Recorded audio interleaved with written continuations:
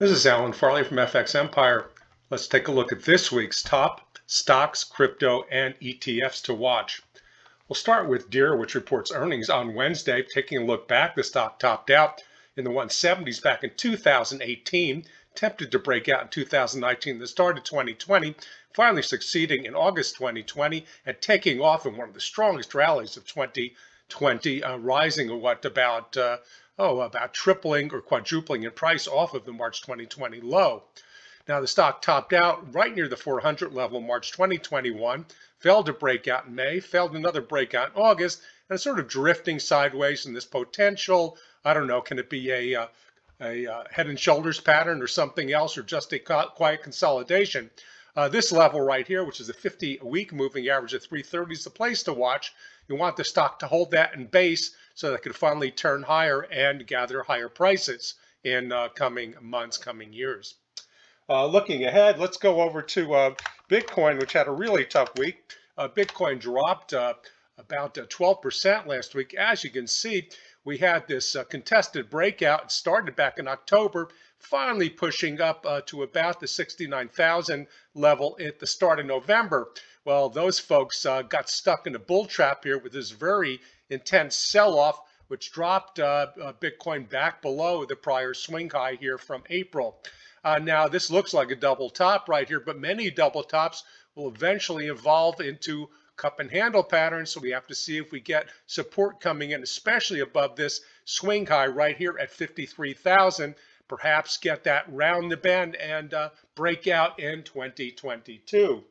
Moving along, uh, Zoom Interactive reports of this week. Now, Zoom has a very interesting history.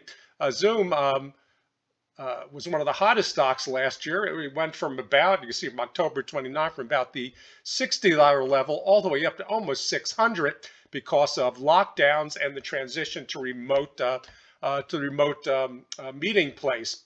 Uh, well, the stock got usually overbought, and as restrictions have been lifted, the stock has been selling off. In addition to the lifted restrictions, a lot of other players are coming into the remote uh, meeting uh, uh space, and that competition has not been good for earnings at uh, at uh, Zoom. now, as you can see, it's trading down here right around the 618 retracement of the prior rally. Now, this is a good spot for it to turn higher, but it's not doing very well here. Uh, it's been trading here since September, so the next target would be down here around the 170 level.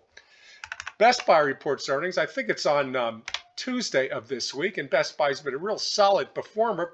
It based between 2018 and 2020, uh, taking off in a uh, breakout coming up to about the 125 level in November, consolidating very nicely, and then going straight higher, uh, breaking out uh, just about two or three weeks ago and coming up to the 137 level.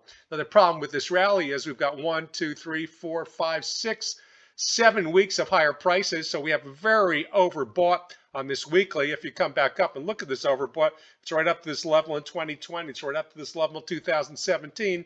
Uh, that means sellers have an advantage. Now, the good part about Best Buy earnings is we may get a little flavor for Friday's uh, Black Friday event and the start of the holiday season in terms of the sentiment expressed by the company.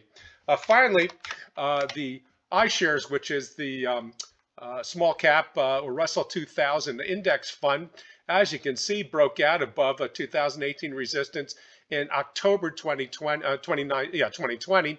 Uh, came up to about the 234 level in March and then pulled back in this uh, symmetrical triangle. You could call it an ascending triangle uh, with uh, support right here between about 230 and 232. In fact, the 50-day moving average uh, it was right here about, uh, as you can see, it's right here about 230.